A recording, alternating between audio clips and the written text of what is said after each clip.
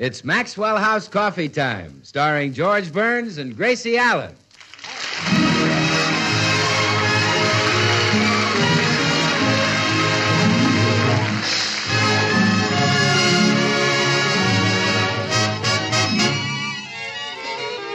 With yours truly, Bill Goodwin, and the music of Meredith Willson and his orchestra. For deep down laughs and listening enjoyment, it's George and Gracie. And for deep down coffee drinking enjoyment, it's Maxwell House, with extra flavor in the blend because of choice Latin American coffees skillfully combined. Extra flavor in the cup because Radiant Roast develops the full flavor of every coffee bean.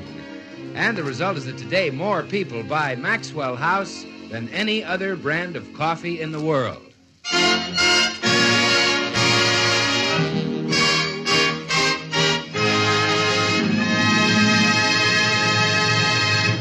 You know, folks, the George Burnses are so happily married that a newspaper has chosen them for the finals in its search to pick Hollywood's happiest Mr. and Mrs. We find Gracie now talking to a woman from the newspaper. And so, Mrs. Burns, our search for Hollywood's ideal husband and wife has narrowed down to you and one other couple. Well, this is a wonderful surprise, Miss Ettinger. But really, George and I aren't so much. We're just plain, ordinary, everyday, delightful people. well, Mrs. Burns, since you're so happily married, perhaps you have some advice to pass along to young girls in the matter of choosing the right husband. Yes, I have. When I was very young, I made up my mind that I would find the perfect man. Man with personality, looks, brains, talent, and charm. I searched for three years before I finally married George Burns. Then your advice to young girls would be? Do just what I did. Give up the hopeless search and marry the man you love.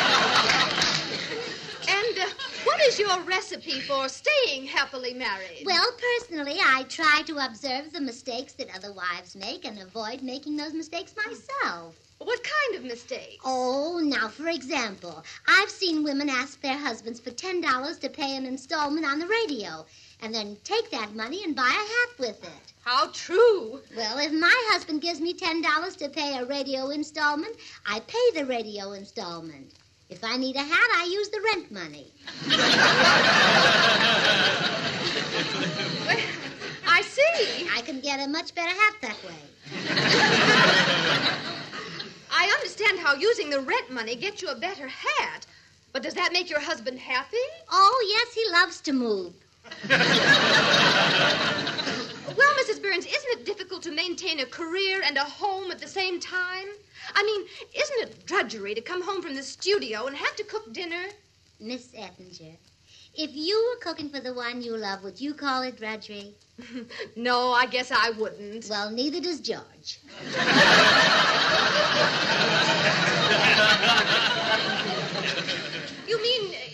you mean your husband does the cooking? Oh, now please don't get the idea that George cooks all the meals. He doesn't. Oh, I see. Twice a week we eat out. I must confess that your methods for maintaining a happy marriage are a little unorthodox. However, if you can prove to me that you and your husband are happier than the Galens, you'll win the contest. The Galens? They're the other couple in the finals. I'm on my way to observe their home life now. At one o'clock, I shall return to observe you and Mr. Burns. Well, I'm sure you'll find us the happiest couple in Hollywood. Why, the minute we wake up in the morning, we have a good, hearty laugh. Well, what do you laugh about? Oh, I laugh at my husband's long, woolly underwear. Well, why does he laugh? Oh, it tickles him, too. well, goodbye, Mrs. Burns. I shall see you at one. Goodbye, Miss Ettinger. Oh, George, George! Oh, wait a minute. I'd better not tell George about this. If he knows the woman is watching us, he'll be self-conscious and won't crack a smile. Oh, Did you call me, dear? Oh, well, uh, yes, darling. Um, dear, would you say that we're happily married? Of course we are. We've been happily married for 11 years. Oh, 11 years. It's pretty good for this town, isn't it? You bet. Remember when we'd been married two days, they called us the grand old couple of Hollywood? That's right. Our marriage has been successful because we realized that married people have to give up certain things. Remember how I asked you to give up betting on the races? Yeah, and I gave it up. Mm, you certainly did. And remember how you asked me to stop buying so many hats? Yep. You gave that up too. I certainly did. Yes, I, you're a wonderful husband, George. I was lucky to get you. In fact, I, I guess I'm one person who was lucky at cards and lucky in love too. Really? Yes. Whether it was poker or marriage, I got the pot. Thanks, kid. Oh, oh, I didn't mean that the way it sounded. I meant that you're a prize, not that you have a pot. I see. I love you, darling, and I'd love you just as much if you didn't have one. Thanks again. Do you, uh, do you love me as much as I love you? Of course I do. Well, I'd like to hear you say, darling, I love you. Okay. Darling, woman I. likes to hear those things, you know. All right. darling. she can't I. just take them for granted. Okay. I want to hear you say that you love me. Darling, Just four little words. But darling, it means so much to us, Bill. darling, You're sentimental. Gracie, yes? darling, I love you. Oh, now, you see, that wasn't hard, was it? Say it again. Darling, Woman I, likes to hear those things, you know. I'll try it again tomorrow. Yes. Oh, good morning, folks. Oh, good morning, Meredith. Meredith, do you realize that George and I have been happily married for 11 years now? Eleven years. Mhm. Gosh, have you been married that long, Gracie? Yes, I have, Meredith. 11 years. Half my life.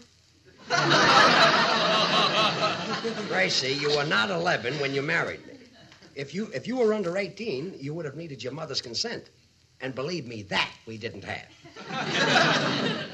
Did your mother dislike George, Gracie? Well, I wouldn't say she disliked him. I'd say she sort of despised him. The feeling was mutual. you, you know that place in the wedding ceremony where the man says, if anyone can show cause why these two should not be married, let him speak now. Yes. Well, Mama got up and filibustered.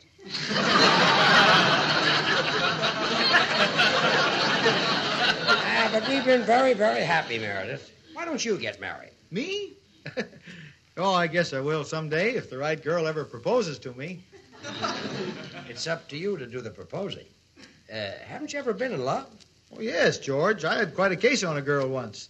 She played the harp in my orchestra. Fine musician. You liked her, huh? Very much. Her cadenzas were remarkable. Well, I guess there's nothing like a girl with remarkable cadenzas. Well, what Unless one with- that sings baritone. Meredith, Hmm? what happened with you and this girl? Well, we used to get in my coupe and drive up on Lookout Mountain. And, well, if I may use an overworked expression, we made beautiful music together. Oh? Well, why did you break up? It just got to be too much work getting that harp in and out of the coupe.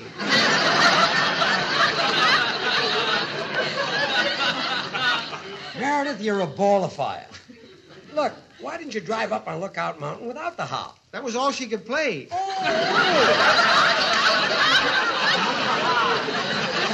Oh, Meredith, you really should find a girl and propose.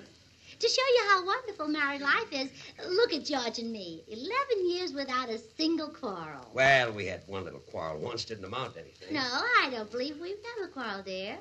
Well, I think we have, darling, a little tiny quarrel. No, precious, we haven't. But I remember it was George, nothing. we have never quarreled. But I remember you fussing at me I have about... never raised my voice to you, but never. Well, answer me, have I? Well, it... Well, don't you dare talk back to me. talk back to you if I want oh, to. Oh, no, you won't. Now apologize. All right, I apologize. Admit I was right. You were right, you were right. No, you see, Meredith, I was right. Eleven years without a Single single, quarrel. quarrel. That's remarkable. Uh, come in. Hi, Burnses. Well, hello, Meredith. Hi, Bill. How are you? What's well, new? congratulations are in order, Bill. George and I have stayed happily married in Hollywood for 11 years. Well, congratulations, Thanks. Gracie. Eleven years. Mhm. Gracie, let me look at you. You know, it just doesn't seem possible that you've been married that long. And George, let me look at you. Only 11 years, huh? Never mind, comedian. You're another guy who ought to be thinking seriously of marriage. Who, me? Yeah, he's right, Bill. You and Meredith should get married. You think we'd be happy? You know what she meant. Get yourselves wives. Marriage is the healthy, happy, happy state of living. Happy, oh, It's really hippie, too. Yeah. have to be happy.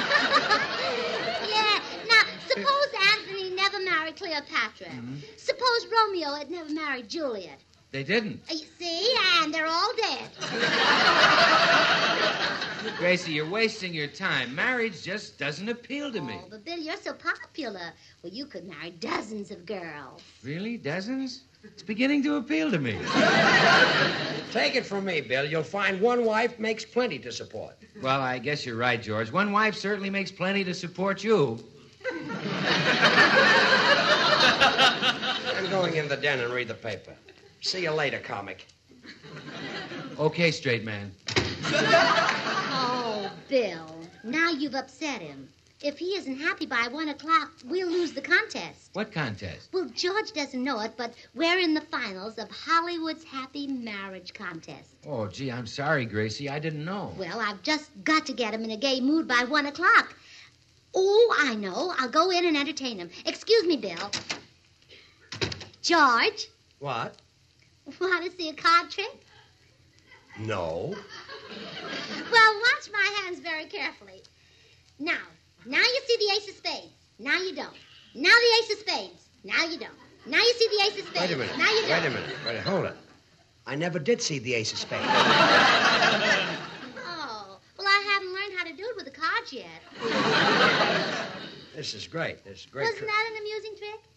Are you happy? No, I'm not happy. Oh. Well, here's a joke I heard on the bus yesterday. A man came home and found his wife sitting in the bathtub with no water in it. So he said, Honey, there's no water in the tub.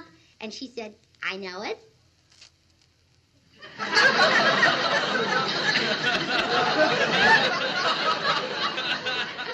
That's the joke you heard on the bus? Uh huh.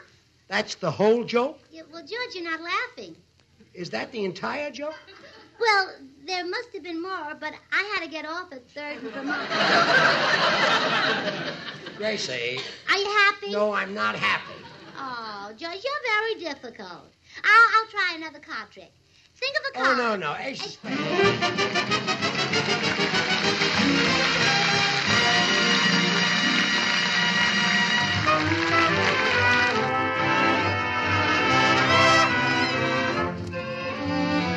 It's Meredith Willson and his orchestra.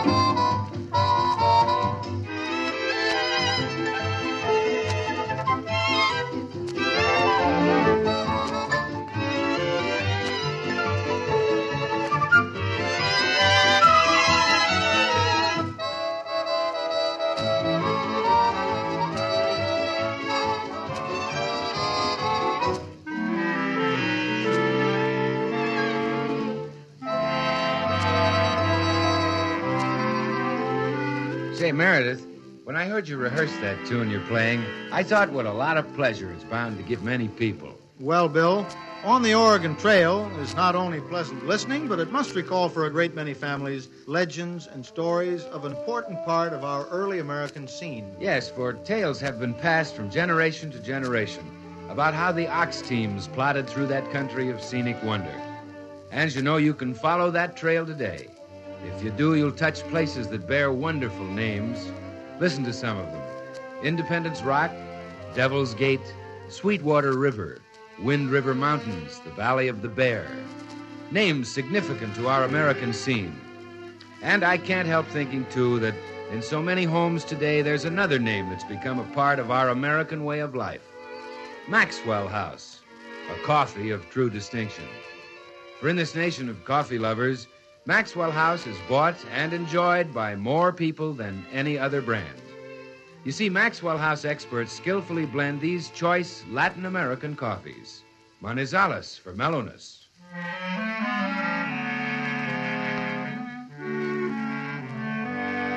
Medellins for richness.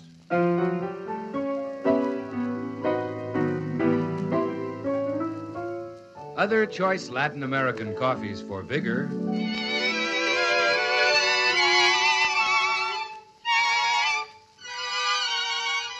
And Bucaramangas for full body.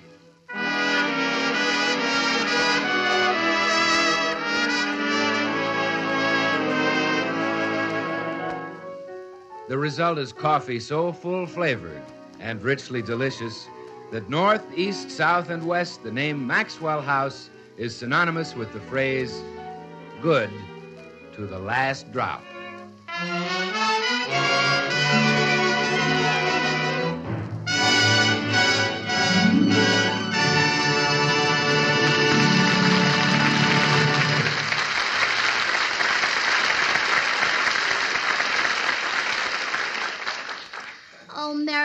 George and I will never win the happy marriage contest. Look at the time, 12.30. That woman will be here at 1 o'clock, Yeah, I know it. and George still isn't happy. When she sees him, the Galens are bound to get the award. I sure wish we could think of some way to cheer him up. Well, think, Meredith, think. Thinking. What was George doing the last time you saw him really happy and enjoying himself? Well, let me see. I guess he was watching that burlesque show he took me to. No, I'm afraid I couldn't do that. The house is too cold. what else does George like to do? Well, he loves to discuss politics. He's always. Politics, of course. A good, intelligent political discussion will make him happy. Eh, excuse me, Meredith. George, Yes, dear? how do you feel about Coolidge? Coolidge. Do you think he'll be elected president this year? Uh, don't think he's got a chance. Uh, how about William Jennings Bryan? Well, he's got as good a chance as Coolidge. Just hope a Republican doesn't get in again. It's time the Democrats had a chance. Yes, they've really been pushed around. Uh, how do you feel about South America? How do you feel about it? I say leave where it is.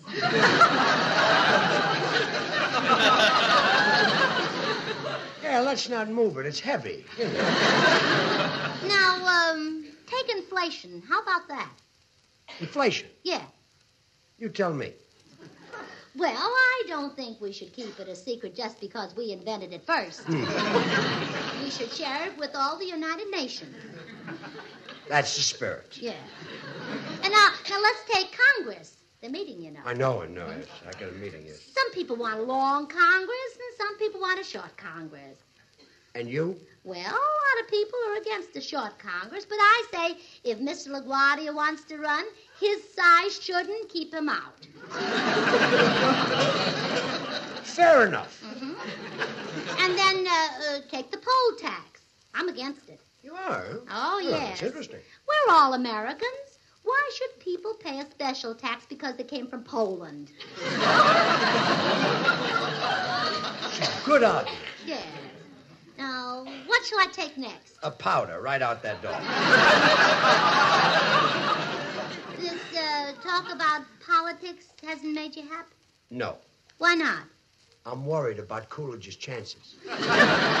Oh, I'm sorry. Now, run along and let me brood about it. Oh, yes, dear. Oh, poor Cal.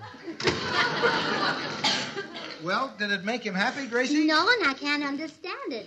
He hangs on Gabriel Heatter's every word, and I'm much more attractive. Oh, excuse me, Meredith. Good day, Mrs. Burns. Oh, hello, Mr. Postman. I detect a note of sadness in your voice, and you're usually gay and carefree like me. Well, I have a problem. My husband is unhappy, and we're ended in the happy marriage contest. Oh, is there a happy marriage contest? Yeah, didn't you and your wife enter?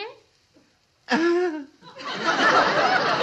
oh, I forgot. I guess your marriage would never win a prize. Not unless I entered my wife in the Golden Gloves. Does she still strike you? Mrs. Burns, 20 years ago, I asked for her hand, and she's been giving it to me ever since. Well, into each life, some rain must fall. yes, but my wife shouldn't happen even in California. I guess you and I are both married to cloudbursts. Oh, no. George isn't that bad. He's just an occasional drip. Well, compared to me, your husband should be as happy as a lark. Mm, say, that's an idea. Maybe if you tell George how miserable you are, he'll see how much reason he has to be happy. Bring him on. I'll fill his little heart with joy.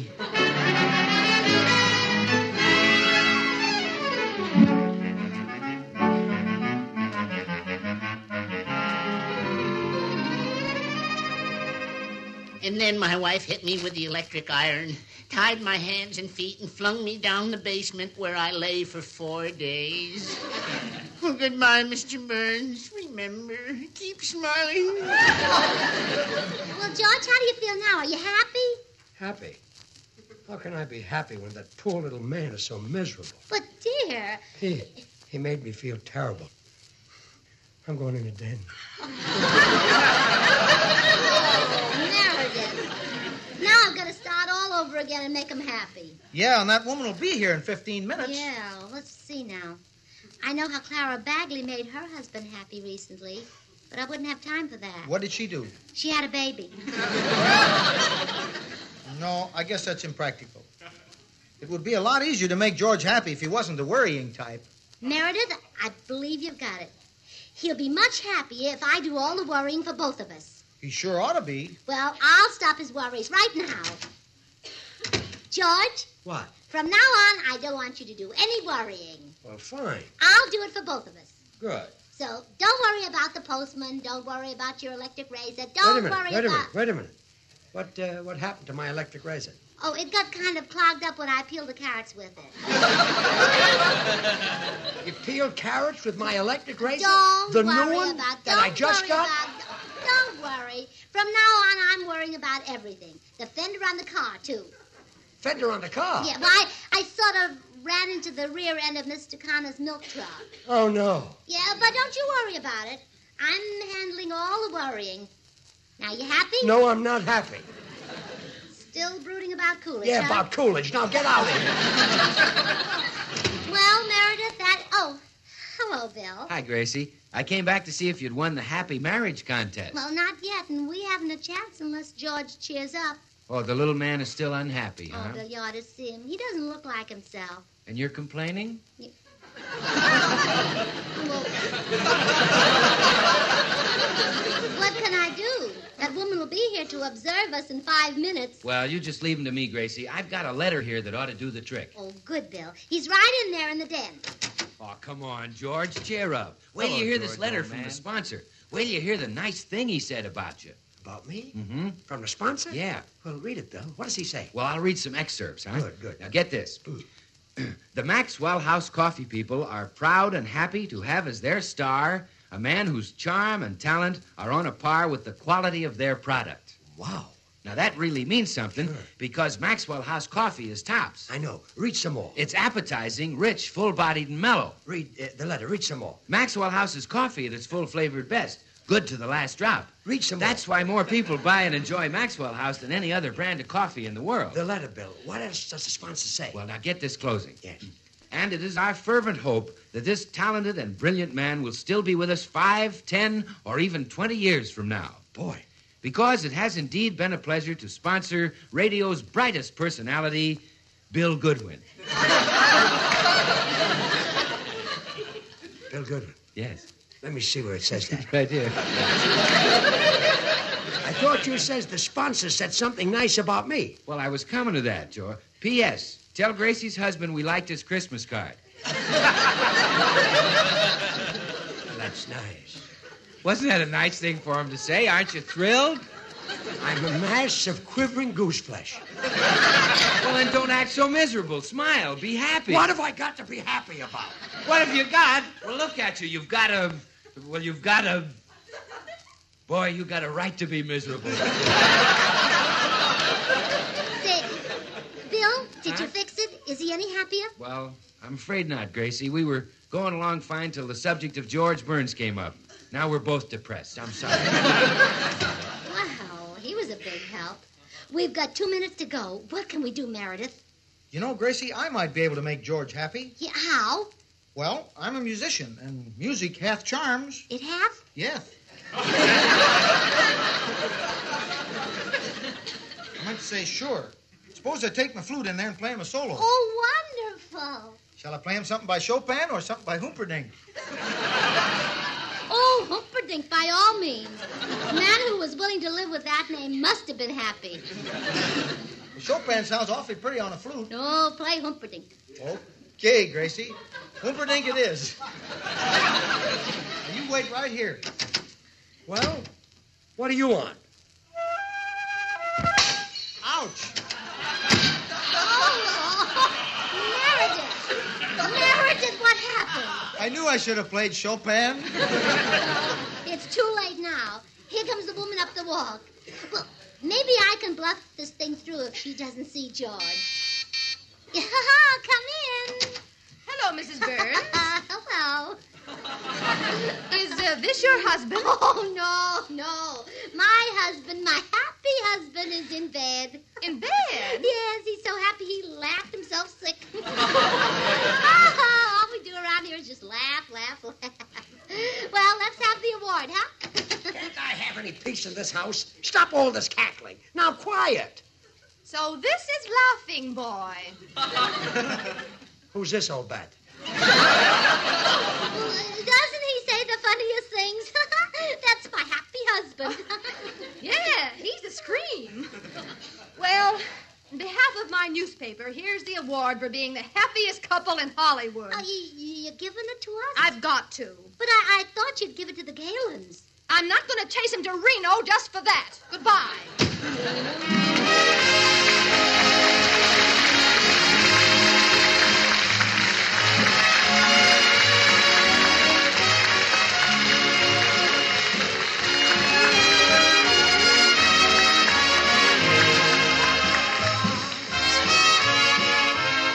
Join us again next week when we'll all be back. George Burns, Gracie Allen, Meredith Willson and his orchestra, and yours truly, Bill Goodwin. Until next Thursday, then, good night and good luck from the makers of Maxwell House, America's number one brand of coffee. Always good to the last drop. Gracie, I'm sorry I lost my temper. I guess we really are the happiest couple in Hollywood. Well, sure we are. And that's because you're the boss and I do whatever you say. Oh, I'm not the boss. Oh, yes, you are, dear. Oh, no, I'm not. Yes, you are. No, really, I'm. George, I'm running this house, and when I say you're the boss, you're the boss. I lost my head. Just call me bossy. Oh, that's good. Good night.